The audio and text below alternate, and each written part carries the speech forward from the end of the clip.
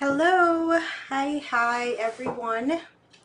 Okay, it's me again, Kathleen from the ZenART team, and today we'll do something um, easier than usual. Not too many sketching that needs to be done for this one, but um, we'll be focusing more on layering all the beautiful colors um, that we need to get the nice um, rounded shape of the pear.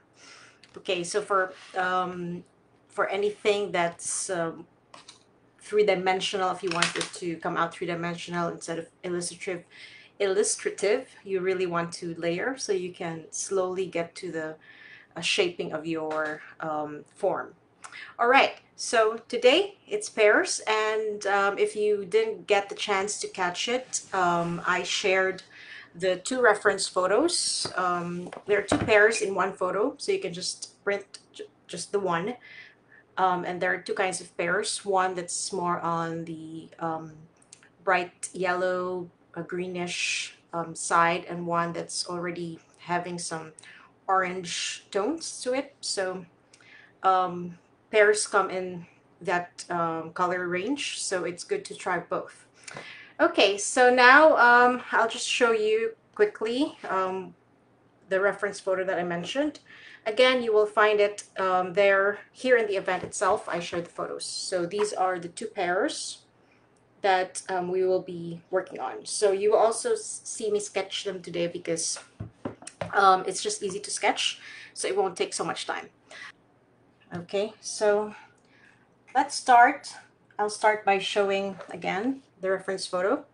I'll have it here to the side, um, but when you do your own, you can always just print this out or have it in your phone beside you for um, as a guide.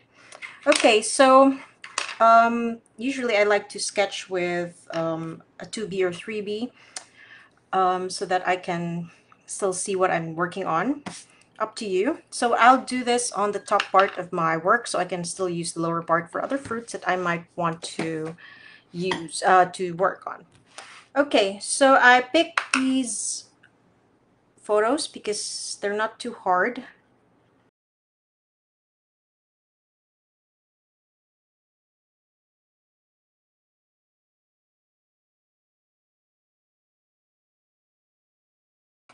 So it's basically, if you simplify this, it's basically a triangle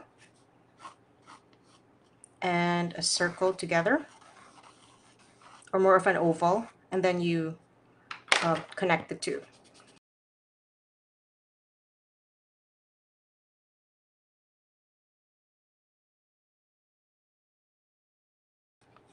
Okay, and the, the one below, um, it's not just straight line, there's a curve right here. So make sure to add that because getting the shape not too perfect is actually what we're aiming for. Okay, and as usual, if you don't want your lines to show through after, um, go over it with your eraser. So I'm just now fixing the shape that it's rounded and not like squished.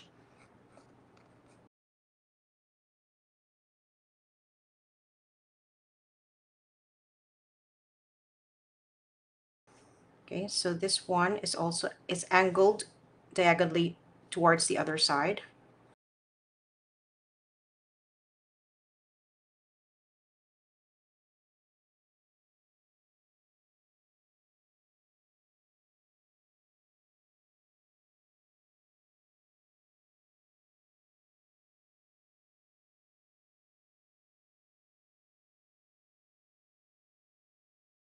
Okay, so sketching is done and as you can see, really uh, quick and uh, it looks like a pear and okay, I'm good to go.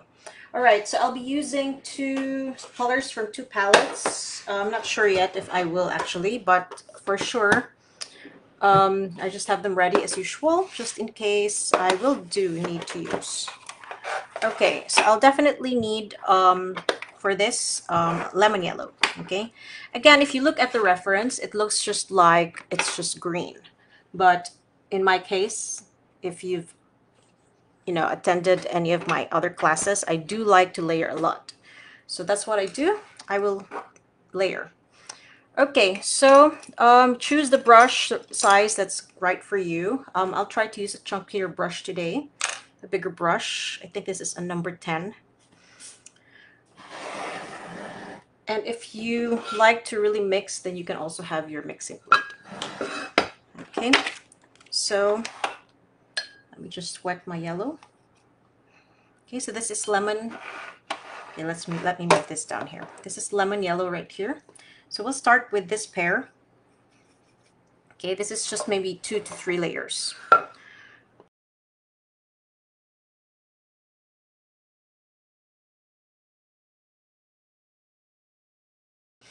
Okay, so what I'll do now um, is I'll go around here. I'll try to leave um, very pale areas right here. Okay, so let me just go around like so because there's highlights here the light is here so I have some very soft highlights on this side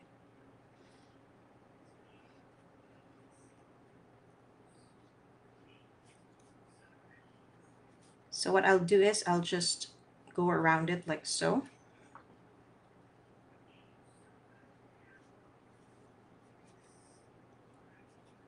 I'm applying the yellow with much saturation down here.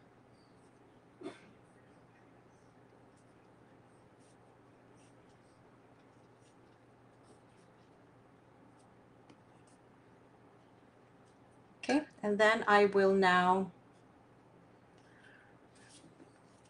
wet my tip of my brush and just pull the color inward towards the highlight and even lift some areas up. And here too. So I'm just painting around the highlight that I need to have. But then it's not just a big white thing. So I'm also slowing uh, slowly bringing some of the yellow in. But being very careful so I don't cover all the white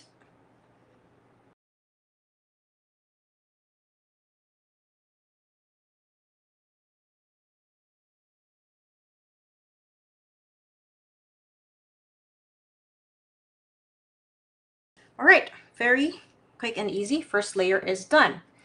All right, so now, um, because of course I don't have the luxury of uh, waiting for a while before I go back, I'm now going to use a blow dryer. But I really suggest that if you're not in a hurry, just um, allow for things to dry naturally because they do, they will still move around a bit on the paper. And some, and you also want that effect, you know, the natural effect of watercolor.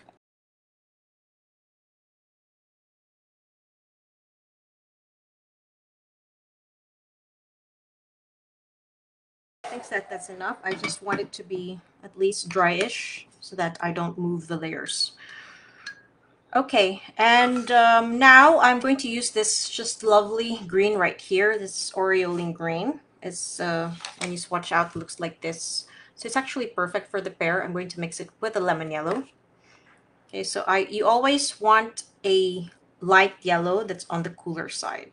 So you can have um, lemon yellow or um, any transparent yellow because it will come in handy when you need to paint um, subjects like this that have a brighter tone. Sometimes, um, well, not just sometimes, if you use a warm yellow, you won't be able to get this like almost neony green. Okay, so again, I will start with this green from down here. Okay, this is the area with the deeper let me add some more. It's too light.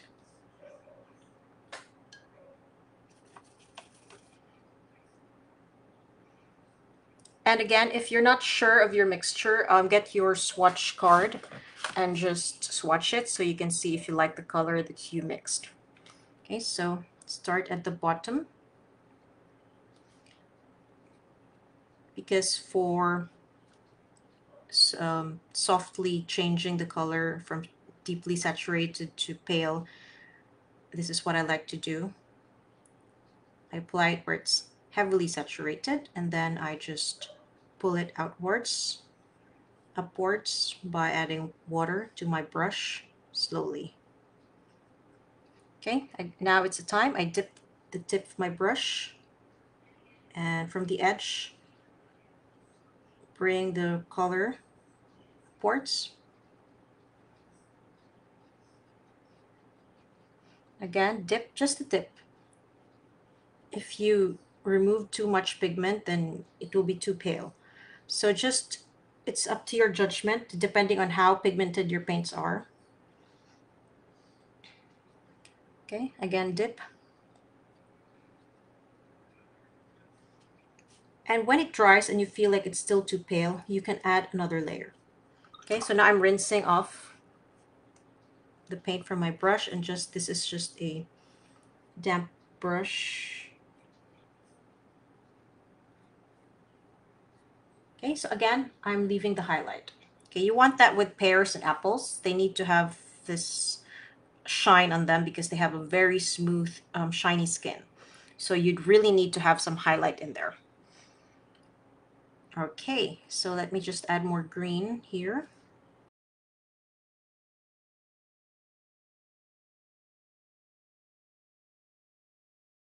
I try not to overwork it because as you keep on going back and forth the areas, um, you if especially if the paint is not yet dry, you will keep on moving this the earlier strokes that you did and sometimes it will just end up being messy. So just stop yourself and um, allow the layer to dry and then you can always add another on top. Okay, so again with the blow dryer,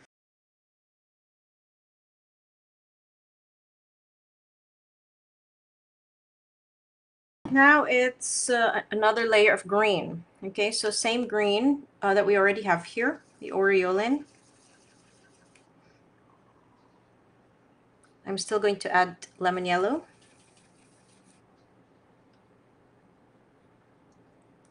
Okay, and now let's add a bit of this um, olive green. We'll add this slowly because I don't want to dull the green too much, but I want it to be a bit darker. Okay, and I will also add a dash of phthalo blue. Again, I will do this slowly because phthalo blue can be quite strong. Okay, I'm just creating a deeper green that's still a bit vibrant, but um, not too dull. Okay, let me add a bit more blue. So I use phthalo blue because it's also a, a cool blue so that I can get the darker shade but without killing the vibrancy of the green. Okay, so again, test the colors, the color that you have. Okay, and remember some colors are more on the transparent side. So unless you um, really use a lot of them, they will come out um, very transparent, which is perfect for fruits like this where you want all the layers under to still show in the top layer. Again, still from the bottom.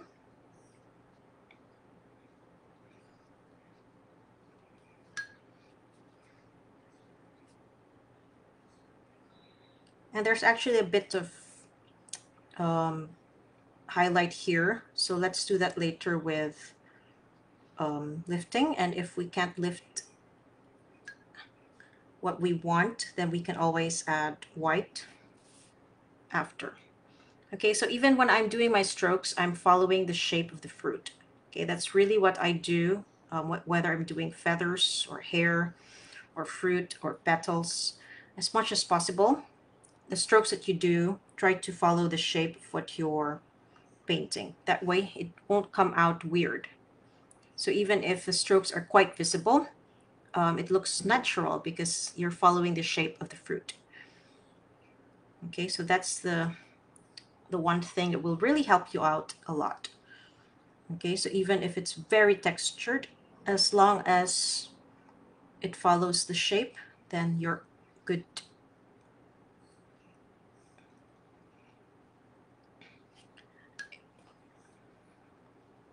If you don't like a textured work, personally, I like textured. I like working in text in a very textured way. That's my preference. But if you don't, then you'd probably want to do this um, wet and wet. But in my case, I want the texture because it really adds to the interest to the work. And as usual, as you can see, I'm softening the edges so that it just blends beautifully instead of being a chunk of dark shape here. Okay, and if the surface is still wet and you add extra pigment, it will still flow. So I'm doing that because I feel like I need more shadow right here. But just do it slowly. And again, try not to overwork. Okay, so here, this is not so like just one round thing. So I'm going to add more green here. So this is the part where you try to fix the shape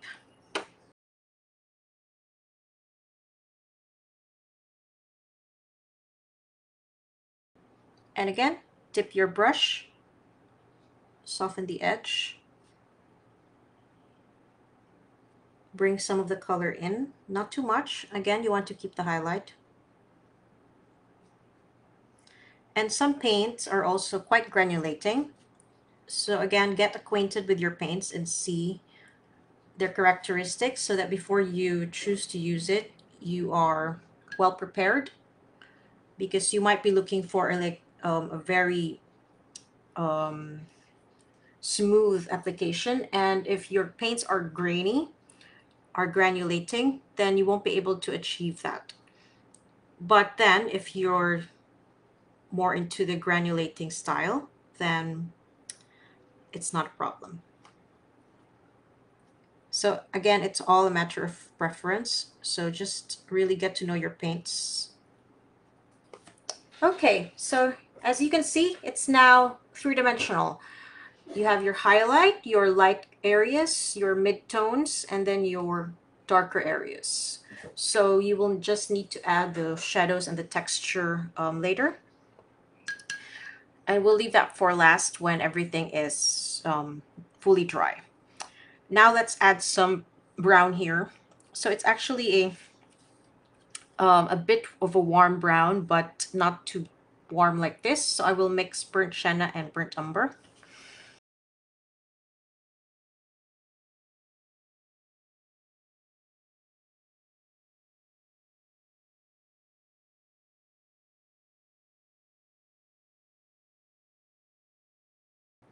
I will wait for this to dry and then see if I want to remove some paint later.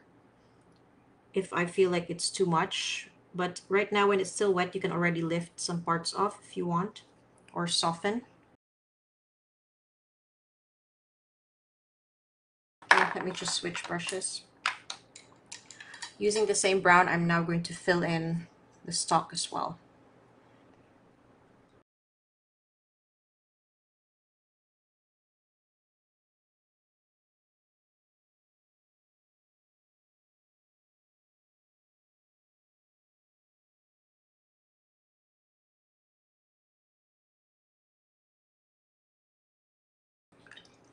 So that's the first layer. I'll leave that and we can now go to the next pear. Okay, so this is um, three layers and you can already get this three-dimensional effect. So I think that's uh, the usual with me. I paint at least three layers if I'm doing a more realistic painting style. Okay, now let's go to the next pear. So this one, let me just again show you quickly. This is this one. It now three and six. Okay, you like to work smaller. Okay, so now it's more of um, yellow turning into um, yellow orange orange, but I actually see some hints of very pale green. So um, we can add that here and there. But we'll also start with lemon yellow. Okay, so let's do that. Let's go for our lemon yellow.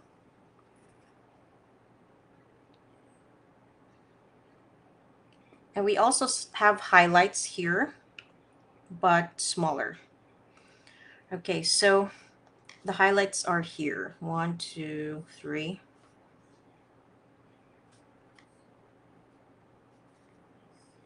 Okay, so you can also already draw around the highlight if you're not sure. Or you can use a masking fluid if you really want to preserve them. Okay, so in my case, I draw around like so. If it's a tiny, tiny pinprick of white, usually I just add gouache after or I use a masking fluid for it. Okay, so you can do that. It's acceptable. It's still considered watercolor if you don't you didn't overuse your gouache.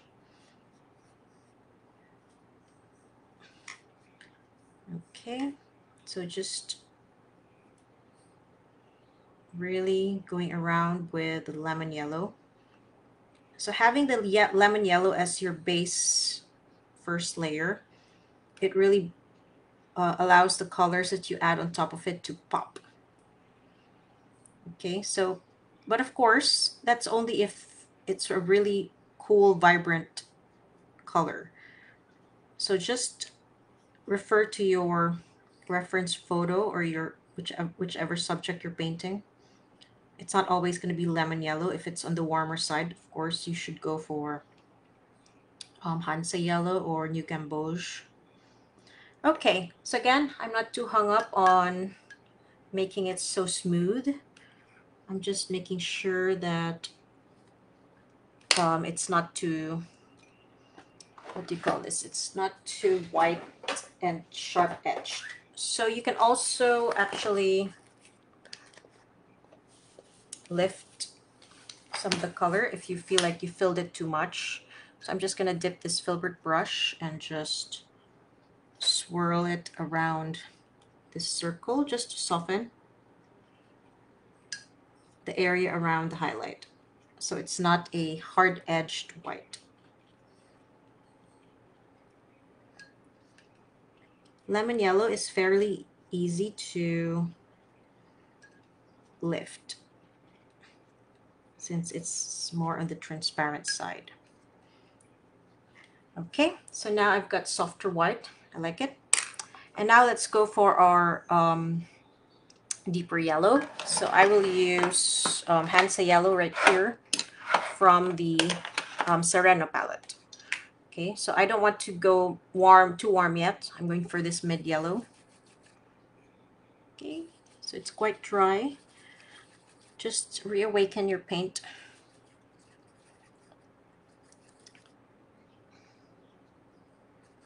Okay, so this is a nice mid yellow, perfect. Okay, so Hansa yellow, one of my favorite yellows. It's quite similar to cadmium yellow. Okay, so I'm going to go all over again. Just layer, layering it over the lemon. Dipping my brush and then allowing the yellow to become lighter as it goes towards this area where there your highlight is.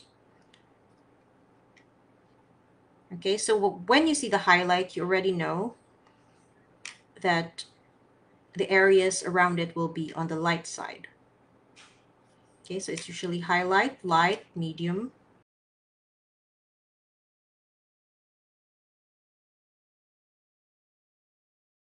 So you can see I'm just really painting around the highlight.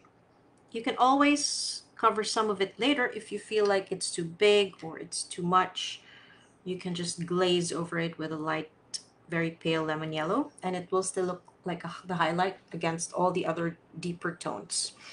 Okay, and now I'm going to use my blow dryer just to dry this before I add the sheen of um, green that I see. Very um, small hints here and there.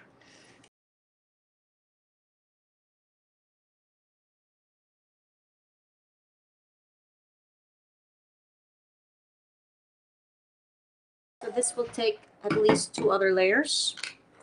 Okay, so let's now go for the hint of green that I mentioned earlier. So I'm just going to use um, Aureolin green with um, some lemon yellow for that.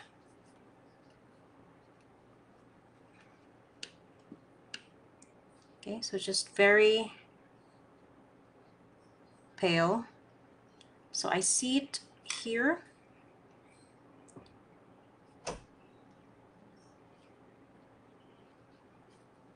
And then a bit also here.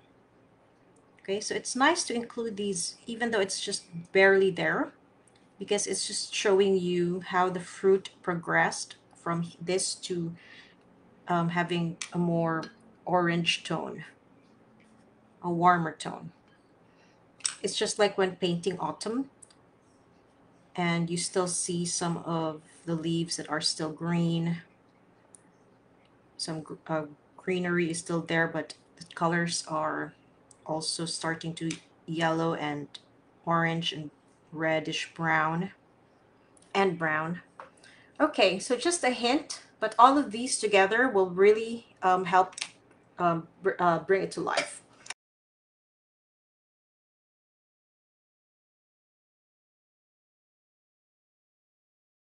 Now let's go to our um, orange. Okay, so our orange um, has a really nice color to it. So I'm going to use um, Hansa Yellow. So I really, when I make my mixtures, I try to use um, my colors together. Um, it really brings it all together instead of just jumping around and using something else. Um, something completely not in your palette. Okay, so um, I also suggest if you're not sure to swatch your colors out, try them out um, in your sketchbook or your journal and see um, what uh, colors you want to use when you paint the pear. Uh, or you can just uh, use the colors that I used and whatever similar colors you have. And now I'm going to go for scarlet right here because this is a warm red that's perfect for creating a very vibrant orange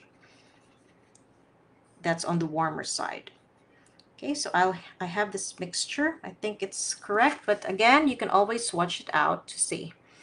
Okay, so I'm starting with this orange and I will just add more, another layer later if I feel like it's too light. Okay, so I apply it here. This is the section where it is very intense and I'm doing this shape around the, the sh oval shape down here.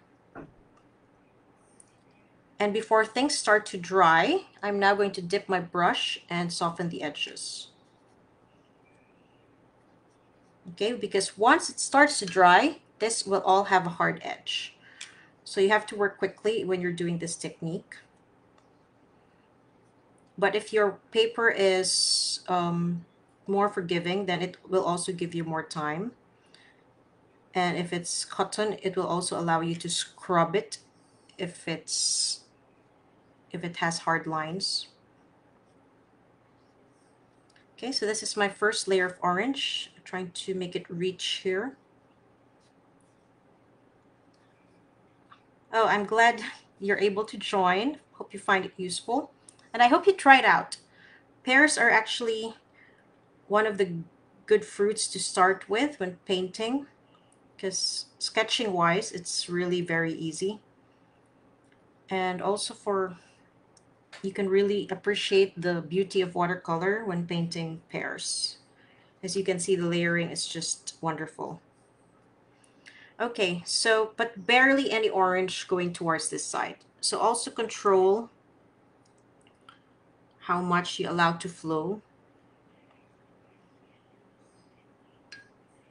Okay, so all about water control. You will see me go back and forth like that towards my um, jar of water. Okay, and I will now start from the bottom. It's actually very pale, but I want it, I want it to be more vibrant. So in my case, I'm allowing it to be a bit more orange than the reference. So you can do make you can make changes like this, okay, if you want. Again, it is your own choice and what you want to include in your work. That's the magic of painting. You don't have to create a photograph finish.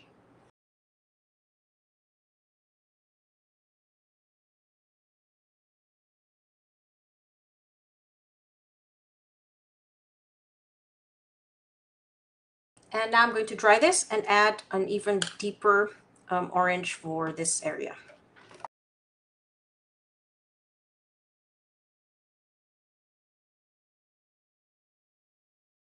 So same color, um, Hansa yellow and scarlet. But now um, I'm adding more paint so it's more saturated.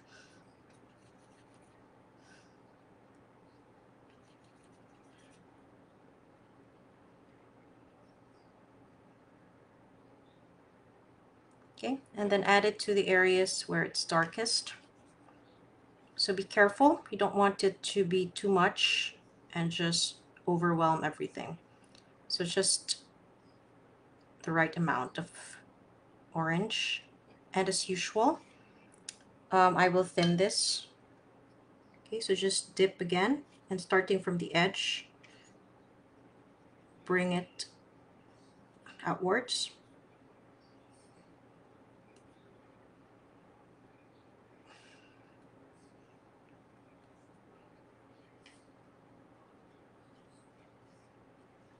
If it's too dark still, then remove as much pigment as you can from your brush.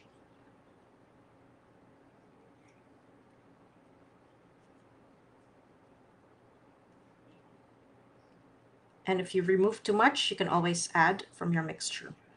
So again, it's all about making the right judgments. If it's too wet, wipe it off. If it's too light, add some more pigment. And if you feel like um, you're just not going anywhere good, um, just finish that layer and just wait for it to dry and then do what you need to do on the next layer. Okay, so that's the magic of watercolor. You can do layers and layers and unlike oil, it doesn't take days to dry. Okay, so I will add just some hint of orange here. I just really like to balance things.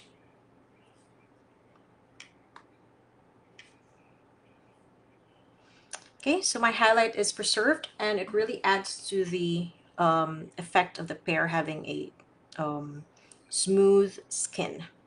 Okay, and then using just the same um, brown that I used for this, I'm going to apply my first layer right here. If this is not dry, make allow this to dry because otherwise this wet will spread to this wet and this will turn brown, which you don't want.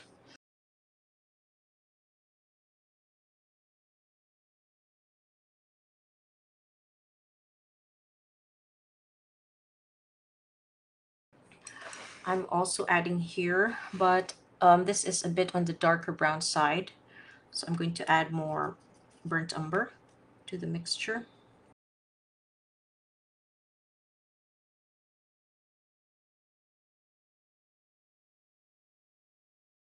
Okay, so now I'm going to get my tiny brush and use that to add lines here.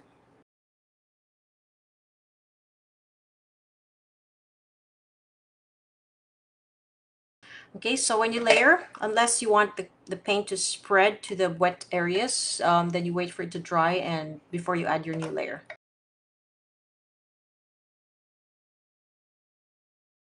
So I'm going to do the same here, just burnt umber. For the darker areas, right here. You also need to layer your stem so that it doesn't look flat against the nice roundness of your pear. It is also rounded, so you must also show that it's rounded. So you also have to do the layering.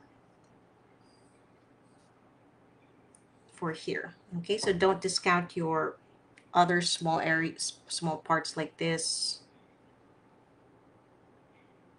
You also have to suggest that it's rounded.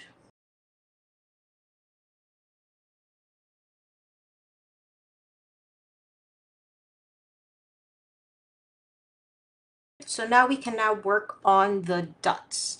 Okay, so for this you have to take your time and be patient and choose the right brush. Okay, so um, let me just get my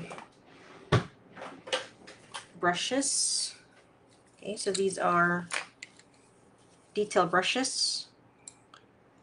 Okay, let me see. So I'm going to go for my 2 over 0 round because it's quite springy.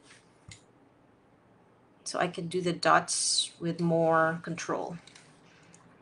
Okay, but before that, um, I will need to create my mixture. Okay, so I will use this one.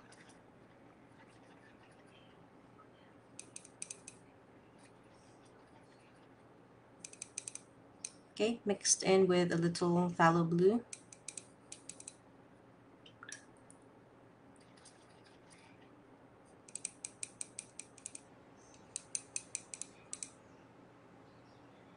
Okay, so once you have your mixture ready, then you can get your brush and add your dots, okay? Just make sure everything is dry so you don't smudge things. And, okay, let me just move this. And put this here so it's near. Okay. And then do your dots. Okay, so control, um, do your, hold your um, brush like this and dab like that. Okay, not at an angle, but more um, almost straight vertical. Okay, um, start from the bottom and they're darker. Okay, so don't space it too evenly.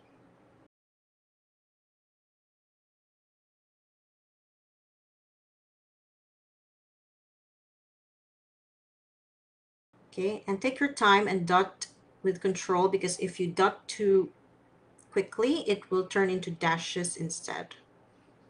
And it's not going to look nice. Okay so take your time. You can always rest and continue it another time. So I'm starting down here because the dots are darker. And I'll add water later as I go towards here and make the dots lighter okay and add dots to the edges okay? So it doesn't look weird. The dots are just congregating above the edge even to the edge.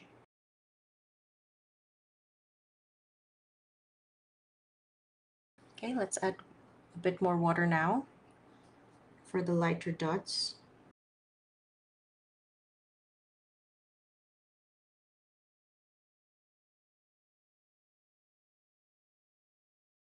Okay, so here I'm adding more water, so I'm just doing lighter dots. So as it goes towards here where there's more light, it will also be lighter.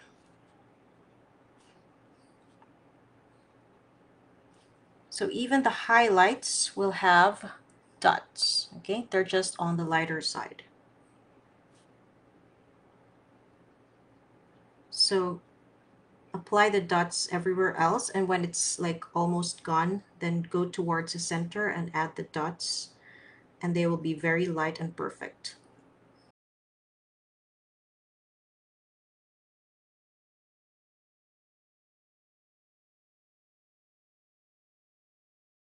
And there you go. Now we will add the darker dots. So I will use some burnt sienna added with the green. Okay, I'm still going to mix it with the green so it's not like an off sudden sienna, but it's like green with a dash of brown. Okay, and now I'm going to start again from the bottom and add it here and there.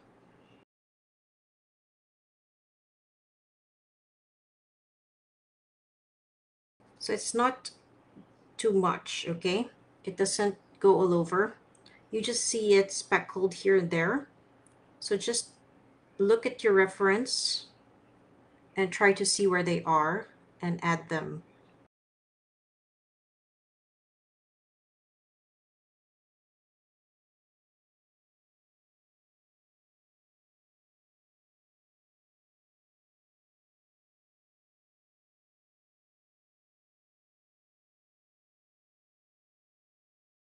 Okay, I like it. I'm happy with it. Um, and if, again, you want to do the highlight there, you can just use a hard brush and just lift it off. So here I can lift off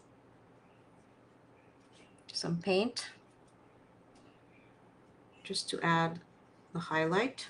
Or you can always um, use white gouache, white ink, and add white for the highlight. But I find that lifting off the paint gives you the nice soft highlight that's just perfect.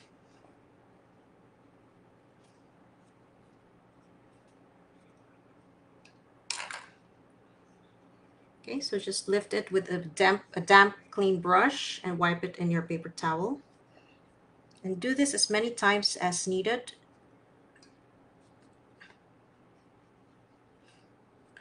Okay, and there you go. Now let's go to the other one. Um, we will now also add the dots.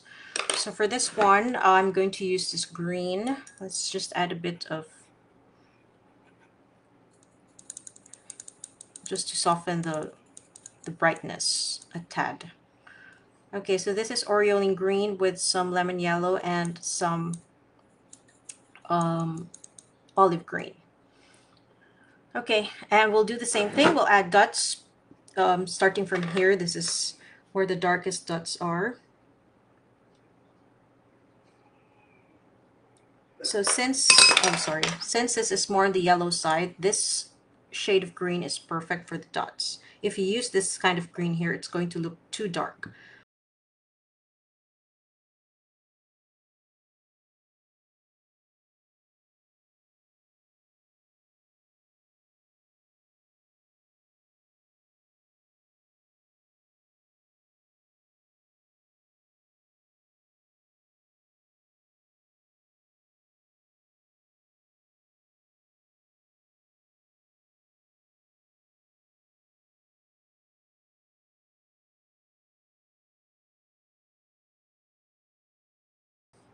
Okay, so for, for doing your dots, a nice springy brush with a firm tip is essential.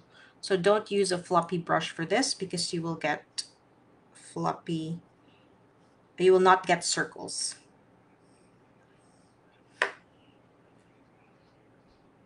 Or if you do, you it will be a much harder experience than it should be.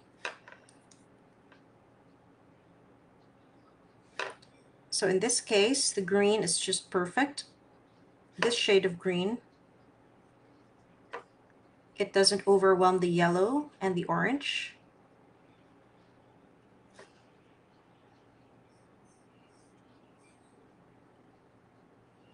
And again, don't forget to add it here as well, even on the highlights. It's just watered down when you reach the highlights, okay?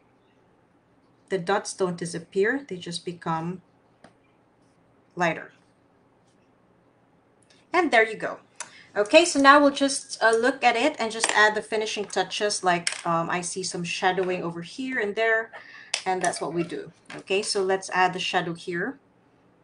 Okay, using this color that we still have.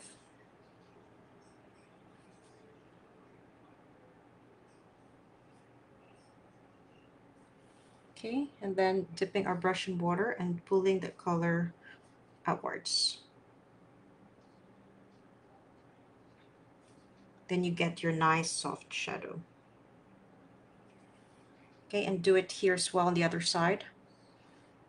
And you can always add the bottom later for the surface. It, it's up to you um, what color you want for your surface, but you can just go for a neutral color, blue or brown. Uh, what's that? Sorry. Doing the dots on point, ruin the pointiness. Uh, it stays pointy if it's a firm brush. Okay, so um, it's good to have a, usually synthetic brushes are perfect for this. So this it, as you can see I've used this a lot already and it keeps its point. And you when you do these kinds of points you don't really dip uh, do this to your brush don't you know stab it. It's just really dip dip just the tip. So it it keeps its shape. Okay but of course if you used it probably a thousand times um, your brushes will eventually need to be replaced especially synthetics. So uh, on that side of things um, natural brush hair brushes are much sturdier for long term but if you need the springiness then you also want some synthetics. So this is a synthetic brush. This is specifically from this set, which is all detail brushes. This is the fine line. Okay, so I do I do use them a lot for little details like this because they are quite um, useful and I don't need to um, I don't need to do so much control. Imagine if I used a round brush and just used the tip, it would be so much harder. Okay, so I'm also going to add some shadows here. For that, I'm going to use um, this orange mix, mixed with a bit of the burnt sienna. Okay, so again, try to have a harmonious palette instead of just using brown. Why not use burnt sienna, which we already used here, with the orange that you used for here. So instead, it becomes more natural looking. Okay, just a bit and then just wet your brush and use the color from here. Just lighten it towards the rest of the pear. So you just have a soft shadow. And here as well.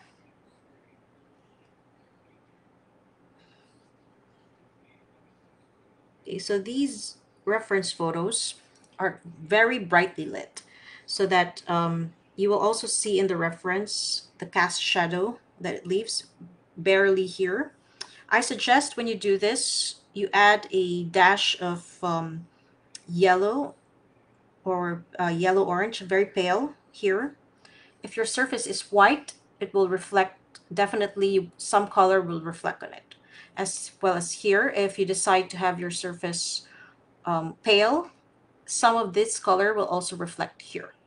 Okay, so that's the nature of things. The colors around your object will reflect on your object as well as um, the color from your object will also reflect on the surface or the objects near it. Okay, so don't forget about that. Everything is in relation to one another. Okay, so there you go. I just added the bottom and you can already see um, if you add the cast shadow then it will be um, no longer floating. So let's do that here just quickly um, with a smaller brush so we'll have more um, control. Okay, so for, in this case, I'm just going to use some of the Hansa yellow right here and mix just a tad of the red, just a little bit.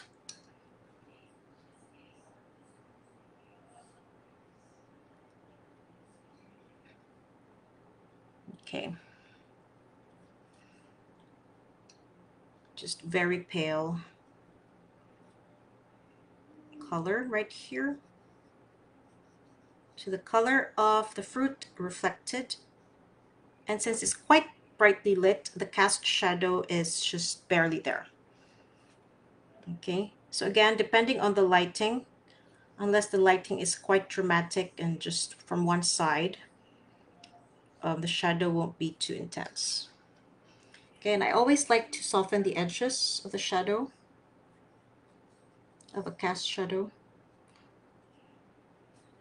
So, and then when it dries, I can add a bit of blue to this to make it more of a shadow shade. And here too, let's um, use some of the green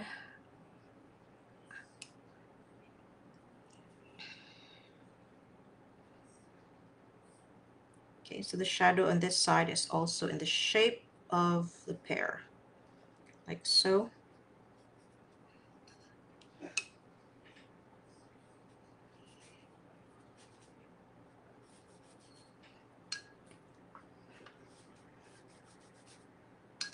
Okay, and what I'll do is I'll fade it as it goes here. Okay, And then I will wait for this to dry and then add another layer. Okay, so the reference photo has a very white surface. That's why your colors are very, you know, visibly reflected on the surface. But I still really like to add a, a sheen of blue on top. So for that, I'll use um, my favorite. I, I use either Prussian blue or indigo. So now let's use Prussian blue so we won't kill the colors. Okay, so let's have it here. So just a dash, not too dark. Anyway, if you find that it's too light, you can always add another layer.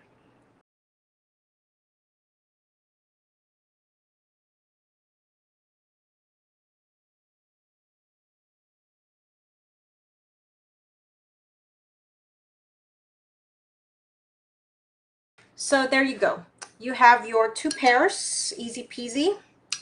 Um, it really is. You just need to really do the layers one by one and have the patience to wait for each layer to dry or um, if you don't mind using the blow dryer or heat gun, then do so. Okay, so I hope I was able to show you clearly how to do it step by step and I'm now going to flip back to my face. So here are the two pears. Okay, hope you can see them clearly. I like it. You can really play around with the colors. That's why I like them. Don't forget to do the hint of green that I did because it really adds to the full finish. Okay, so thank you for joining me everyone and please do try doing the pears yourself because they're really quite easy to sketch and the layering is so doable. You can totally do this.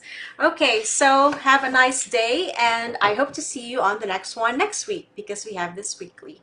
All right, bye.